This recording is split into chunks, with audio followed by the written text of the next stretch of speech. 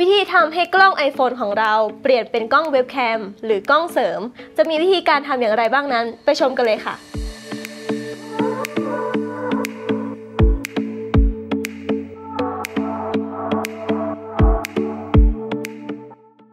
นะคะด้วยสถานการณ์ที่แบบหลีกเลี่ยงไม่ได้นะคะทำให้หลาย ๆ คนนะคะ ต้อง work from home บ้าง ต้องเรียนออนไลน์บ้าง ต้องสอนออนไลน์บ้างนะคะ คลิปนี้นะคะนุกวิก็จะมีแอปดี ๆ มาบอกต่อนะคะ โดยจะเป็นแอปนะคะที่เปลี่ยนกล้อง iPhone ของเรานะคะ เป็นกล้องเว็บแคมหรือกล้องเสริมนะคะ โดยที่เราไม่ต้องเสียเงินแพง ๆ ไปซื้อกล้องเลยค่ะ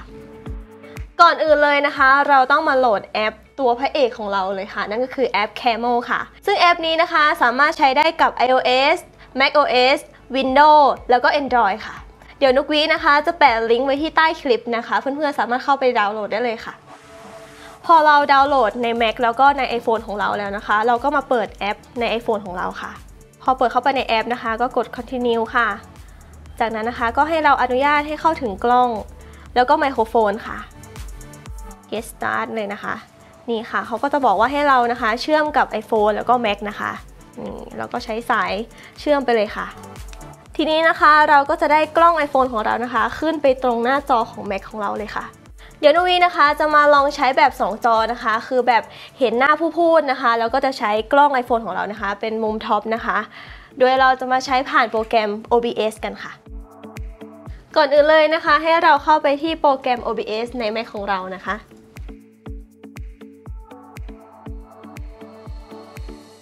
นี่ค่ะพอเราเข้าไปนะคะ ก็ให้เรานะคะ เพิ่มแหล่งภาพนะคะจาก 2 แหล่งด้วยกันค่ะ นั่นก็คือจากกล้อง iPhone ของเรานะคะ ซึ่งตอนนี้นะคะก็จะแสดงเป็นมุม top ค่ะ แล้วก็จากกล้องของ Mac นะคะ ซึ่งจะแสดงภาพของเราค่ะ ให้เรากดบวกตรงนี้นะคะ แล้วก็เลือก Video Capture ตรงนี้ค่ะ ตั้งชื่อก่อนนะคะ iPhone Cam ตกลง แล้วก็เลือกอุปกรณ์ Camo นะคะ นี่ค่ะ แล้วก็กดตกลงค่ะ จากนั้นนะคะก็เพิ่มอีกแหล่งหนึ่งนะคะ ก็คือจากกล้องของ macbook นะคะ ก็กดบวกค่ะ แล้วก็กดวิดีโอแคปเจอร์เหมือนเดิมค่ะ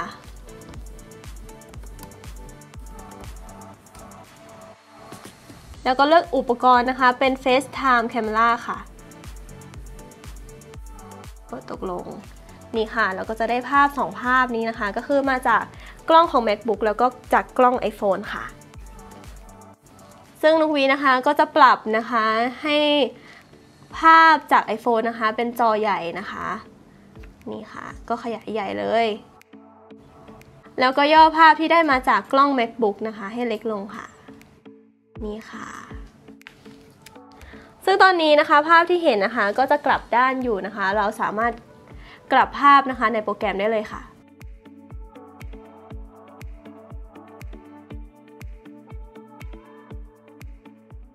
เราก็จะได้ภาพจากมุมท็อปนะคะ แล้วก็ภาพที่เห็นเราอยู่ตรงหน้าด้วยค่ะ พอเรานะคะเพิ่มแหล่งกล้องจาก 2 กล้องแล้วนะคะ ต่อไปนะคะก็จะเป็นการเพิ่มไมโครโฟนเข้าไปค่ะ โดยการกดบวกนะคะ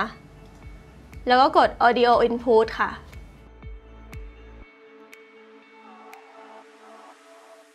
ให้เราเลือกเสียงจากไมโครโฟน macbook นะคะ กดตกลงเลยค่ะ โดยวิธีนี้นะคะก็จะมีประโยชน์มากเลยค่ะ ในกรณีที่เราสอนออนไลน์นะคะ นักศึกษาหรือว่านักเรียนนะคะ ก็จะเห็นเอกสารนะคะที่เราสอน แล้วก็จะเห็นผู้สอนด้วยค่ะ เดี๋ยวนุวีนะคะจะมาลองใช้งานกันดูค่ะกดเริ่มบันทึกตรงนี้นะคะ เพื่ออัดวิดีโอนี่แล้วก็เขียนเลย เดี๋ยวเราไปดูวิดีโอที่ได้กันนะคะ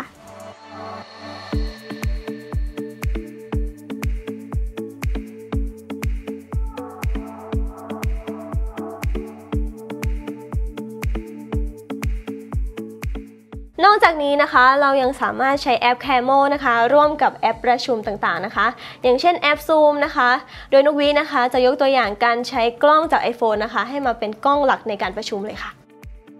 เมื่อเราจัดเตรียมอุปกรณ์ทั้งหมดเสร็จเรียบร้อยแล้วนะคะ ให้เรานะคะเข้าไปที่แอป Camo ค่ะนี่พอเราเข้าไปนะคะ ให้เรามาเปลี่ยนจากกล้องหลังมาเป็นกล้องหน้านะคะ โดยกดเข้าไปที่เลนส์ค่ะ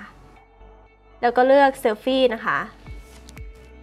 นี่ค่ะ กล้องก็จะเปลี่ยนจากกล้องหลังมาเป็นกล้องหน้าแล้วนะคะ แล้วเราก็เข้าแอปซูมเลยค่ะ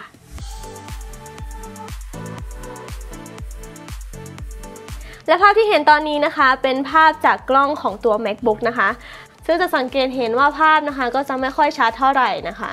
เดี๋ยวนุกวีนะคะก็จะปรับมาเป็นใช้กล้อง iPhone แทนนะคะ โดยที่เราคลิกตรงนี้ค่ะ แล้วก็เลือกจาก กล้อง iPhone นะคะ หรือว่าแอป Camo ค่ะ และนี่นะคะก็จะเห็นความแตกต่างระหว่างกล้องจาก MacBook กับกล้องจาก iPhone นะคะเดี๋ยวนุกวินะคะจะมาลองใช้แอป Zoom นะคะ โดยจะเชิญนุกนิกนะคะ ซึ่งใช้กล้องจาก MacBook เช่นเดียวกันค่ะ อ่านี่นะคะน้องนุกนิกก็เข้ามาร่วมประชุมแล้วนะคะ โดยภาพที่มาจากนุกนิกนะคะ ก็จะเป็นกล้องจากตัว macbook ค่ะ ส่วนภาพของนุกนะคะ จะเป็นภาพที่มาจากกล้องของ iphone ค่ะ จะเห็นถึงความแตกต่างเลยนะคะ ว่ากล้องของ macbook นะคะ จะมีความไม่ชัด ส่วนกล้องจาก iphone ก็จะมีความชัดเจนกว่าค่ะ